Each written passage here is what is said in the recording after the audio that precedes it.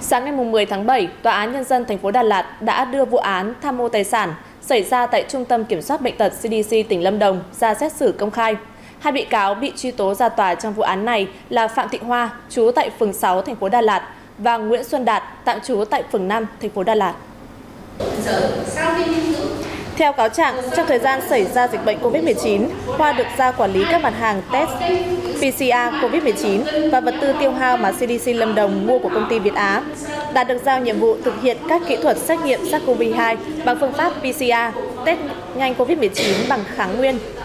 Quá trình điều tra, trong thời gian từ cuối tháng 12 năm 2020 đến tháng 5 năm 2021 lợi dụng việc được giao quản lý sử dụng sinh phẩm, hóa chất và vật tư tiêu hao cùng hoa cùng với đạt đã chiếm đoạt một số sinh phẩm hóa chất vật tư tiêu hao của cdc lâm đồng sau đó bán lại cho công ty việt á thu lợi bất chính gần 217 triệu đồng chia nhau sử dụng cá nhân. Ngày 28 tháng 6 năm 2022 hoa và đạt đã bị cơ quan cảnh sát điều tra công an tỉnh lâm đồng khởi tố bắt tạm giam. Xét hành vi của các bị cáo là nghiêm trọng gây dư luận xấu gây bức xúc trong dân, nhân dân thời điểm giữa